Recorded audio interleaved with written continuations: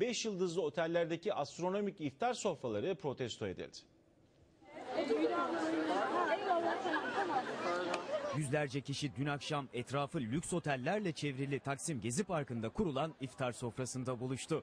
Hem beraber oruç açmak hem de lüks otellerde astronomik rakamlarla hazırlanan hazırlanan iftarları protesto etmek için. Bugün de israf, bugün de depdebe, şaşa olmaz. Hiç olmazsa bugünlerde bunlar geri çekilmesi lazım ve insanların yer sofralarında buluşması lazım.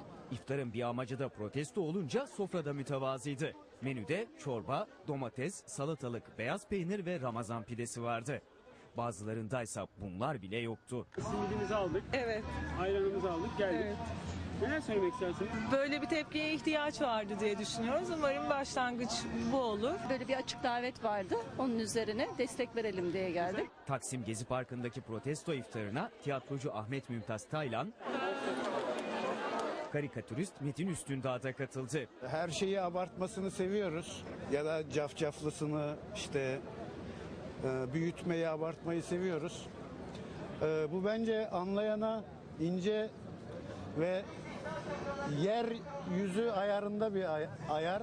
İftar protestosunda ağaçlara asılan pankartlarda dikkat çekti.